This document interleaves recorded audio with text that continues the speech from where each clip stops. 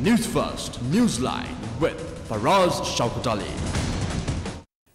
And a very good morning to you. Uh, this is Newsline live as always from the News First studios in Dawson Street in Colombo. This morning a slightly uh, different background, a different studio uh, as we prepare with a new one and a new background. So uh, bear with us. I think you'll enjoy the change. And uh, however, this morning um, I thought we'd talk about the need for change, fresh beginnings, politically speaking, of course. Uh, and uh, to discuss that is uh, a very special guest here, uh, Dr. Vinya Ariyaratne, um, better known usually from the Sarvodaya movement, but he's right here uh, right now. He's the president, by the way, of the Sarvodaya movement.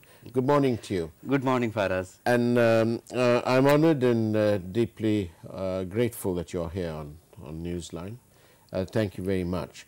Um, but, Dr. Ariyaratne, do we need fresh beginnings? Absolutely. I think this country needs a fresh beginning at all levels of our society and in all sectors from social uh, development to political and economic development. If you were to say, if I was to ask you, what is the single one thing, one thing that uh, the um, that is an issue that Parliament has completely not addressed, unwilling to address, or has only addressed in a wishy-washy manner. What would that be? Accountability. Accountability. Lack of accountability. I don't think that not just the parliament and the whole system, the governance system of this country is not accountable to the people. But in, in the meantime, what, what are they doing? Because all sorts of uh, issues that affect the, uh, of grave national import uh, and that affect the people of the country uh, simply don't happen. There's no um, rhyme or reason in what they do in terms of infrastructure development. They, they, there's a perennial problem that there is no money, but then on the other side there's plenty of money to be robbed uh, and to buy um, expensive vehicles and so on. Uh, soon after the 21st of April uh, events, I, I, noticed a small item in one of the newspapers. It said that 190 odd million had been spent on two cars. Uh, I thought that was completely insensitive. But none of these matters, you know, as you know from your own movement, yeah. and as we've found out from our Gammadda movement, uh, there is a whole lot of frustration and issues out there that needs to be addressed, and it's no one's doing anything about it. Everything of that sort of development has been put on the back burner. So, how do we address it? I think it's not just a recent development. Yeah. I think it, there's a systemic issue here. I think our governance system doesn't work for us anymore, work for the large majority of people anymore. So, parliament or those institutions which are supposed to be addressing those issues are ineffective. So, we have to look at a total system change, a, a, a reboot of our governance system, reboot of our uh, political system and also the economic system. So, I think on the positive side we have now seen an opportunity where people are really looking for an alternative yeah. and also uh, particularly the, the, the, political leadership is also under a lot of pressure. I think even though they are in, insensitive and indifferent, I think there is hope. I, th this is the best time for us to collectively think of an alternative for this country. We have about uh, approximately 2 million new voters now. Uh, is that going to, is that whom you are targeting?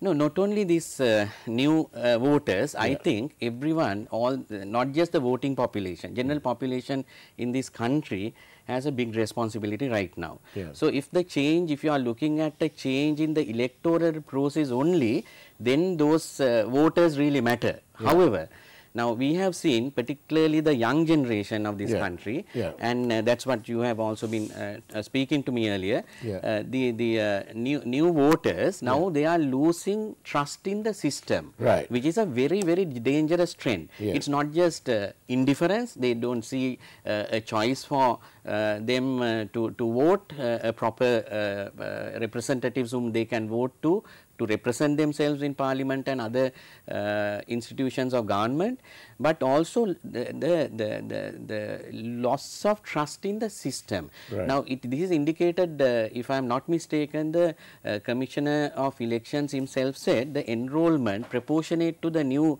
uh, cohort of uh, you know youth who, who are supposed to be registering uh, has been less in 2018. So, if that is true then that really uh, is evidence that uh, this uh, trust is not there anymore in the system. So, we need to approach them you are right. So, this new 2 million voters are important because if we are looking at a change through the electoral system they they have to really be given an alternative. So, I fully agree with you on that. But, but um, um, Doctor, we have uh, in, in Britain, uh, there is something called the Nolan Principles, uh, which was put into place in uh, way back in 1994 when John Major became very concerned about the unethical behavior of some uh, of some members of parliament, and um, Nolan was given the task of uh, putting together. And they came up with seven items, and when I read them and I try and relate these things to Sri Lankan politics, uh, I am deeply saddened. They, if you permit me, if I can, may, if I may say what these seven things are. One is selflessness. Uh, the holders of public office should act solely in terms of the public interest. The other is integrity. The another one is objectivity, accountability, openness, honesty, and leadership.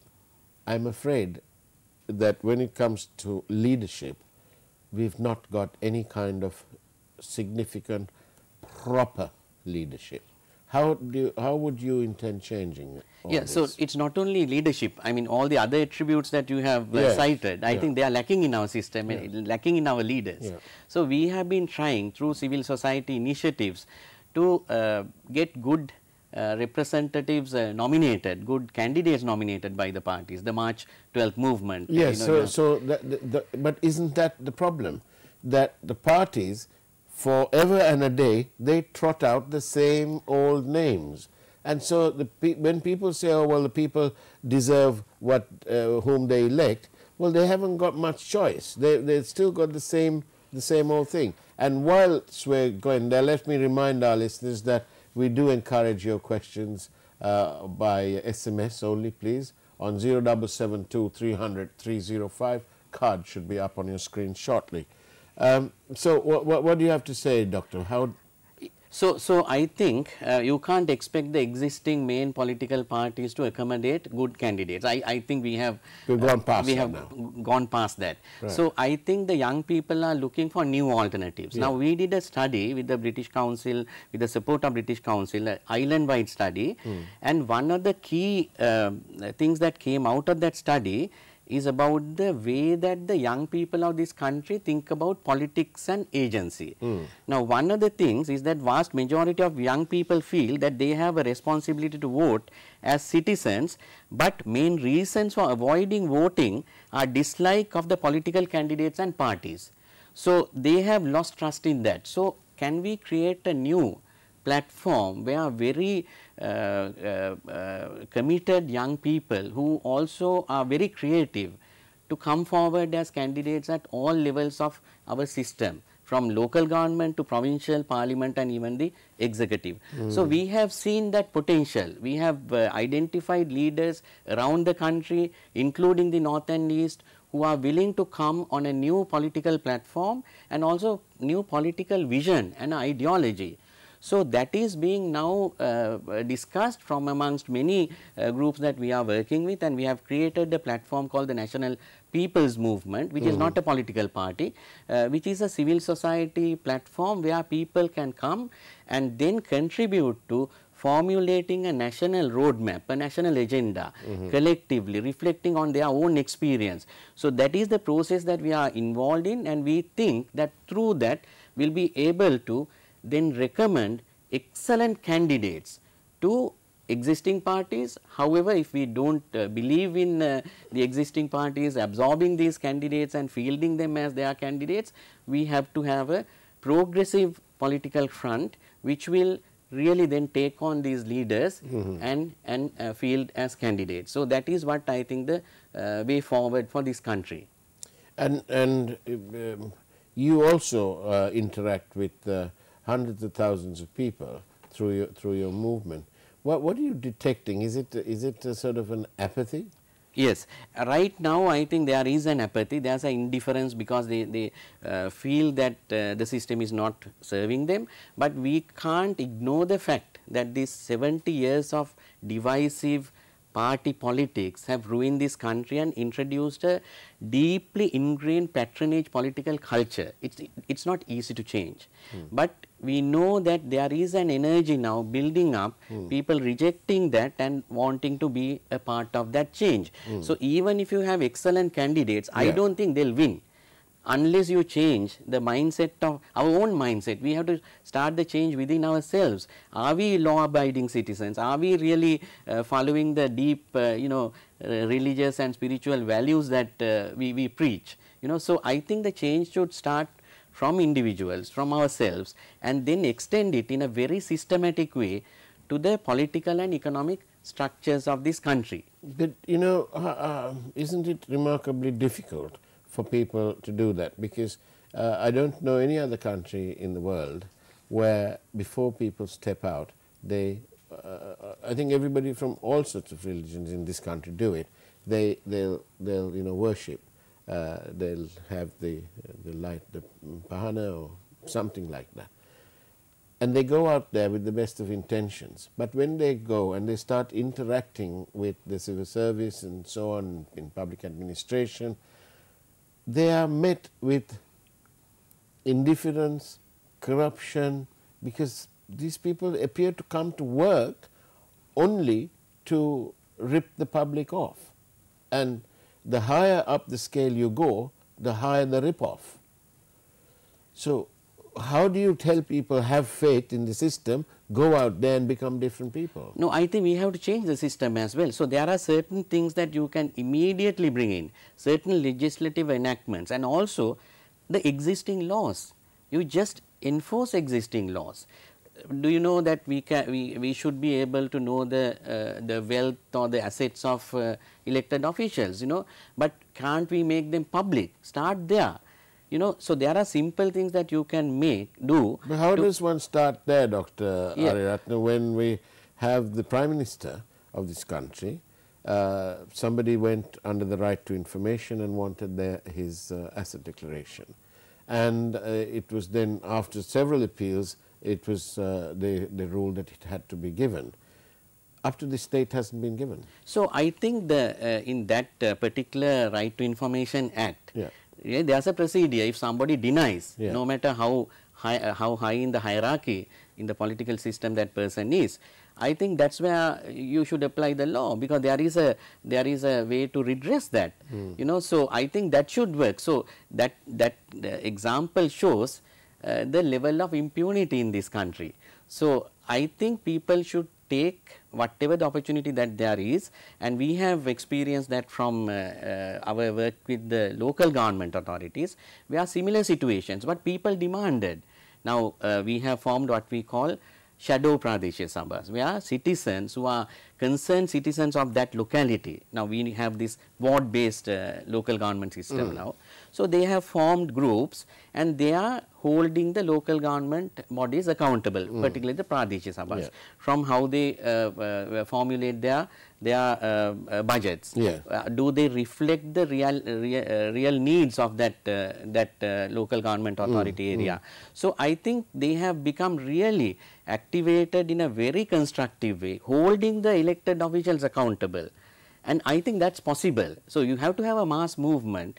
Each one of us as ordinary citizens should contribute to that process. We can't otherwise hold the system accountable. Then we have to have a medium to short, term strategy where we try to identify the key issues and then really study. That's where even the professionals should come together. Now this uh, National People's Movement uh, is led by the Deshodaya movement which is the part of Sarvodaya uh, Yeah. governance program and the Pro United Professionals movement. So we got together and we are bringing in our best of our experience uh, to really fix the system and make recommendations based on real experience and bringing uh, uh, creating this platform to bring people who love this country not just who are residing in Sri Lanka, but the Sri Lankans who are residing overseas who want to contribute to this process. We have created this platform and I think it is a difficult task, but it has to happen uh, through multiple channels and uh, several generations need to work. I think you, you're being very polite, Dr.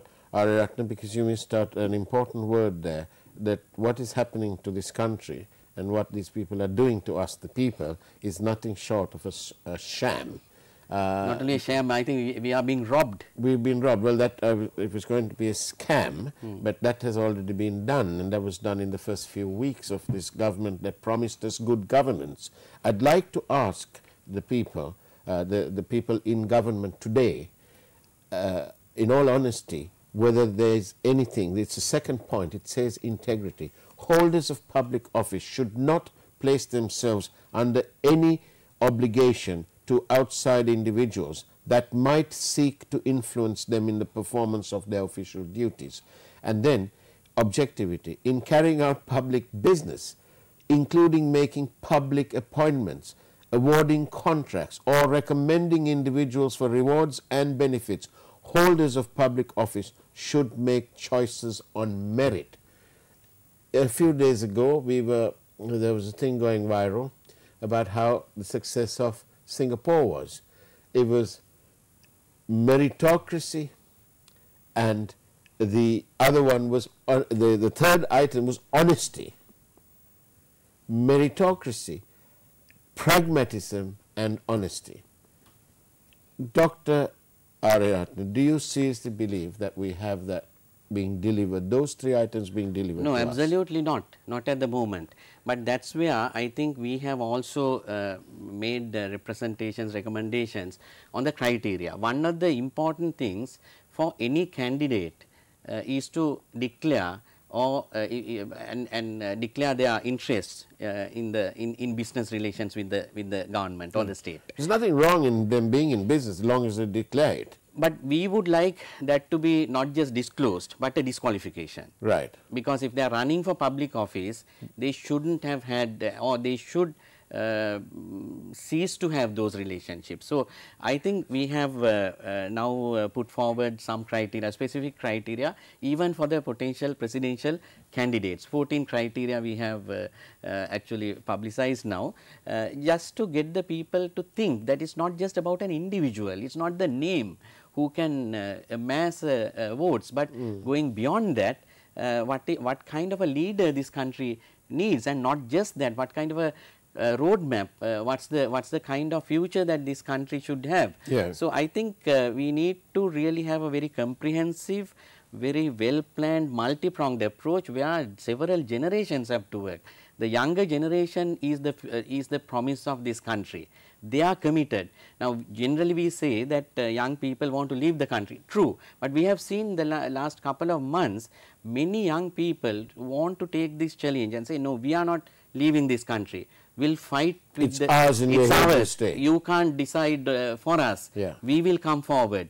So our generation, we have to be a transitional. We have to give a transitional leadership to build that emerging, positive, committed, patriotic leadership of this country cutting across ethnic and religious I'm, I'm, divides. Uh, I'm, I'm sad whilst you're saying that uh, I am I'm saddened even further because uh, of this message. It says here uh, from, from a viewer, it says here, we can never see even a semblance of light on the horizon. I don't agree with that because I. But how sad is that gentleman or yes, lady? I, can, I, I, mean, I can fully empathize with that uh, uh, individual uh, because that is the general sentiment. But as a person who travel across the country, meeting ordinary uh, people yeah. Uh, on a regular basis, the hope is there. Uh, because they they just uh, but it's all hope hope hope doctor. No no it's it's actually it's the right now so that's that's what we require initially. And yeah. there needs to be an opportunity for them to come forward. So we have to create that platform. Mm. so it's the responsibility of media it's the responsibility of other social institutions to pave that path. So that's exactly what we are but doing. but they're trying to they're trying to muzzle the media even though they have uh, the right to information. We've never, at News First, we've never needed this right to information business to, uh, important as it is, we, the lack of it never stopped us from exposing uh, whatever it is. Uh, and uh, if you think, if they think that the intensiveness is too great, then all I have to say is I have to point out at the bond scam.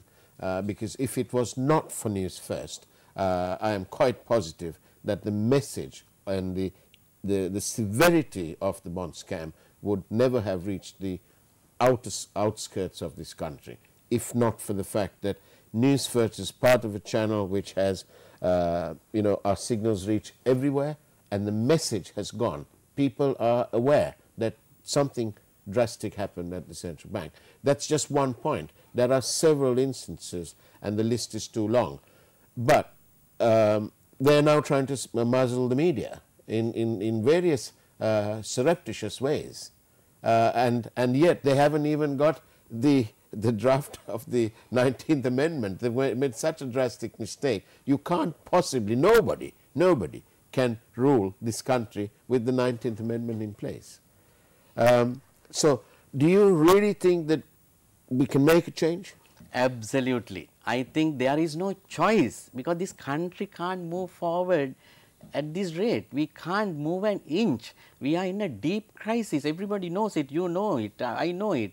The ordinary people know it. And if we just give in and succumb ourselves to, to uh, find a solution by default, we are going to end up in a real mess. And how, how important is what they're doing in the meantime? Whilst these political parties are having a, a, a real fight, um, you know, like a heavyweight boxing uh, fight. Uh, in the meantime, the foreigners are coming here and doing all sorts of things and getting us to sign all sorts of agreements.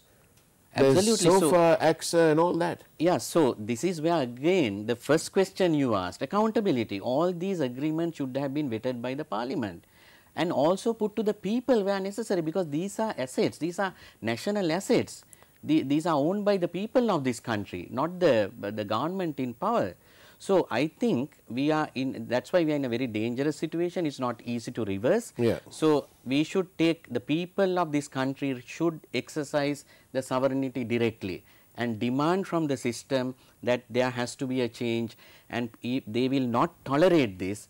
So, they will find a way through the electoral process and every other means non-violent means available legal means available to fight this, otherwise there is no future.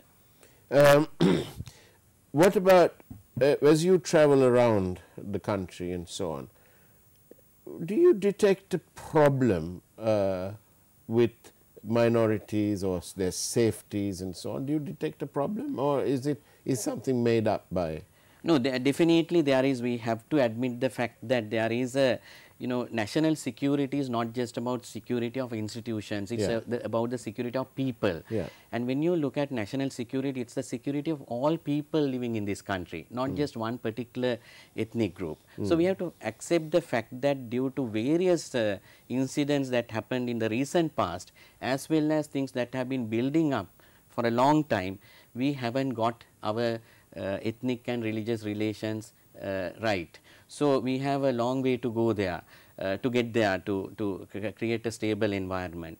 Uh, but fortunately, a large majority of our people belonging to all communities are doing lot of things to keep community harmony intact. Mm. So, that is that needs to be appreciated and even though the news may only capture some of the negative stories, we know for a fact that there are many religious leaders, Buddhist monks who are really um, uh, trying uh, their best at community level to maintain peace and harmony. So, yeah. that is the responsibility of everybody and also I think media and also social media has a very big responsibility to uh, play here because there is a lot of hate media going around and uh, if we can really address those in a in a very uh, moderate way in an effective way and also the law needs to be applied then I think we can uh, address this issue. But, but the dynamics have changed, isn't it? Because quite a lot of people uh, have uh, now have, well, they've had uh, access to um, uh, digital signals and so on. The digital divide is much smaller in our country and of course, uh, the ownership of smartphones is uh, increased tremendously, which means that even in the rural areas, people are accessing, are able to access that.